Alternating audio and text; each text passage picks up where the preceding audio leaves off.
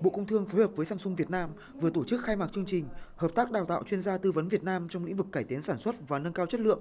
Mục tiêu của chương trình là đào tạo 200 chuyên gia tư vấn người Việt Nam có đủ năng lực để tư vấn và đào tạo lại cho các doanh nghiệp cung ứng trong ngành công nghiệp hỗ trợ của Việt Nam, từ đó giúp các doanh nghiệp này nâng cao năng lực cạnh tranh để nắm bắt được các cơ hội tham gia vào các chuỗi cung ứng toàn cầu. Phát biểu tại buổi lễ, Phó Thủ tướng Chính phủ Trịnh Đình Dũng cho rằng trong hơn 25 năm qua, mối quan hệ hợp tác hữu nghị giữa Việt Nam và Hàn Quốc đã trải qua những bước phát triển vượt bậc trên tất cả các lĩnh vực, đặc biệt là về kinh tế, thương mại và đầu tư. Hai nước hiện là đối tác quan trọng hàng đầu của nhau và Hàn Quốc đang là nhà đầu tư nước ngoài lớn nhất tại Việt Nam. Chương trình đào tạo sẽ kéo dài trong 2 năm